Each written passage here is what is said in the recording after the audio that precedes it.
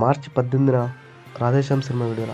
వివరాల్లోకి వెళ్తే కరోనా కారణంగా వాయిదా పడే సినిమాల్లో యంగ్ రెబల్ స్టార్ ప్రభాస్ నటించిన రాధేశ్యామ్ ఒకటి. ఏ ముహూర్తాన సినిమాలు మొదలుపెట్టారో అప్పటి నుంచి సినిమా విడుదలకు అడ్డంకుల మీద అడ్డంకులు వస్తూనే ఉన్నాయి.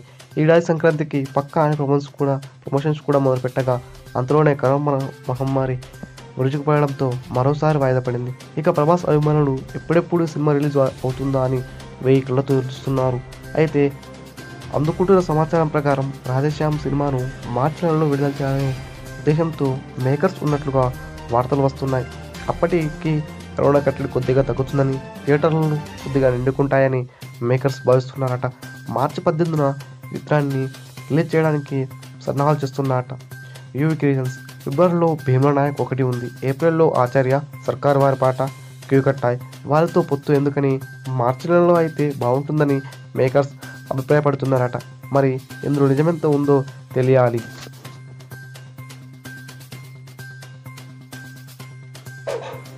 ఈ వీడియో నచ్చినట్లయితే లైక్ చేయండి షేర్ చేయండి.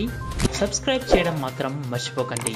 పక్కనే ఉన్న బెల్ ఐకన్ని ప్రెస్ చేసి నోటిఫికేషన్ రూపంలో మా ప్రతి వీడియో మీరు పొందవచ్చు.